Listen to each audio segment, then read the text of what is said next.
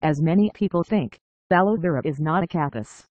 It belonged to lily family and hence it is also called as lily of the desert, pretty name for aloe.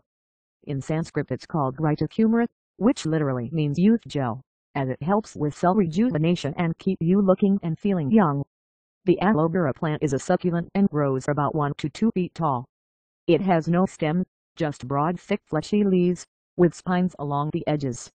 The leaves are green to gray-green in color, with white flecks on their upper and lower surfaces and it is within these leaves the clear gel is residing, which is what makes aloe vera a wonder herb.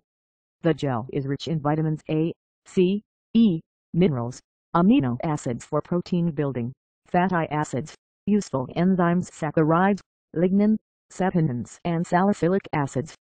Aloe gel has soothing and cooling properties that relieve redness and irritation, while nourishing the skin tissues.